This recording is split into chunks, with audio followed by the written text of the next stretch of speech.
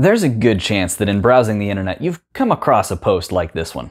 When NASA started sending astronauts into space, they quickly discovered that ballpoint pens would not work in zero gravity.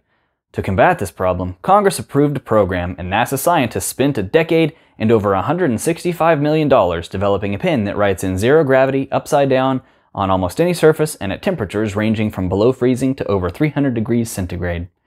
The Russians used a pencil. Your taxes are due again in April.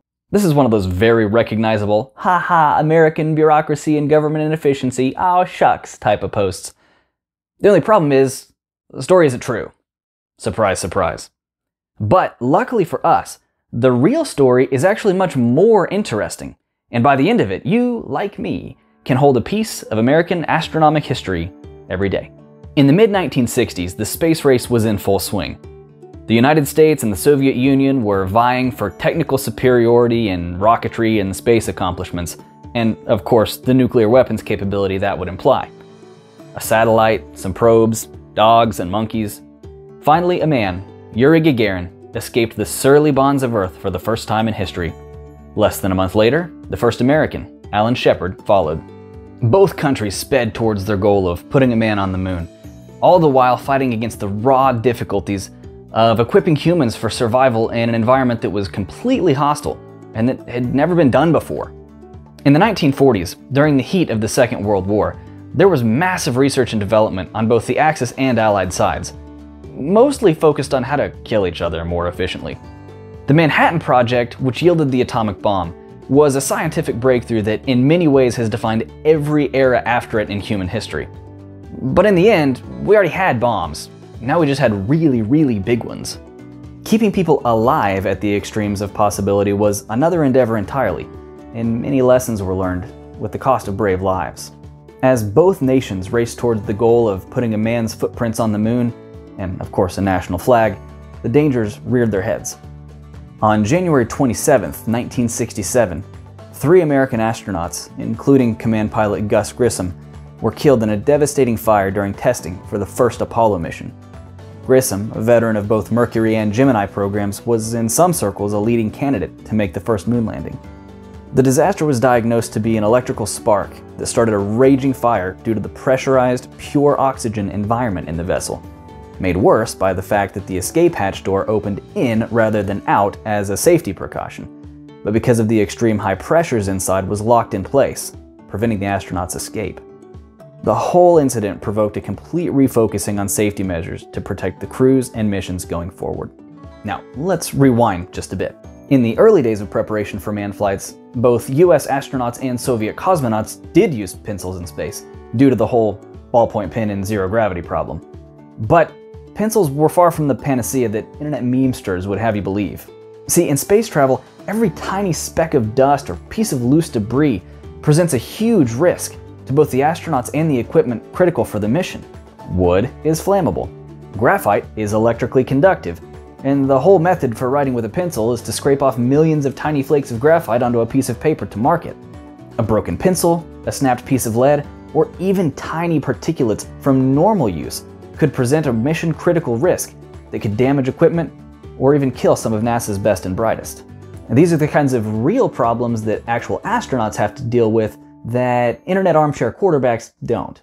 And ironically, even on cost, there was a minor scandal when NASA in 1965 purchased 34 pencils at a price of $128.89, approximately $1,000 per pencil in 2020 money.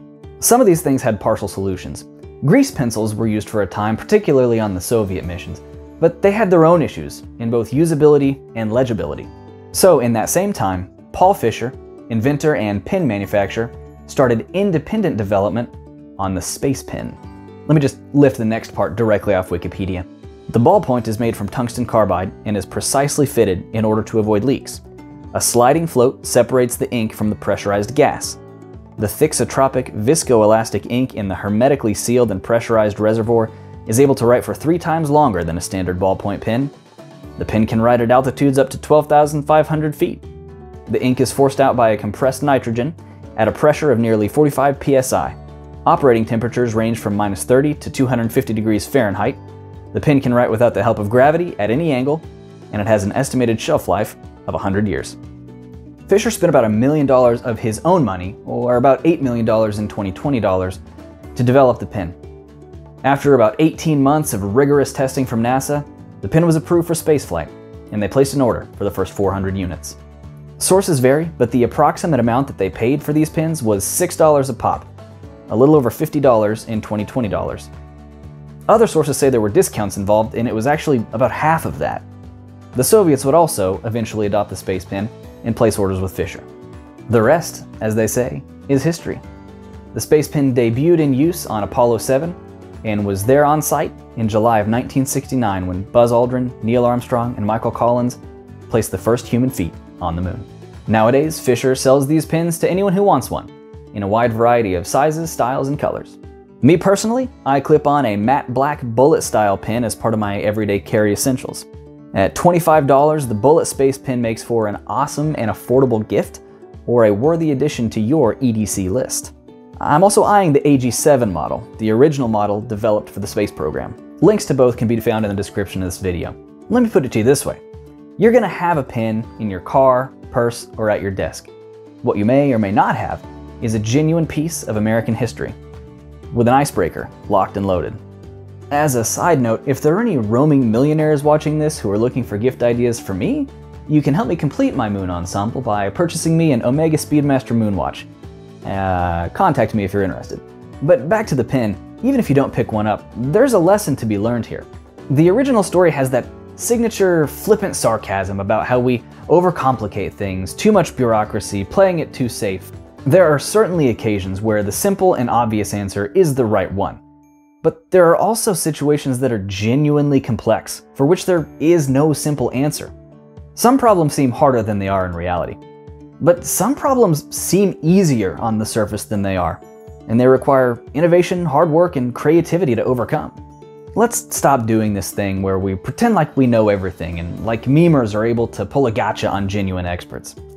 Let's stop having this dismissive sarcasm and have more genuine curiosity. There's more to learn and more fun in the messy details of reality. The takeaway? Buy a space pin. And don't believe everything you see on the internet.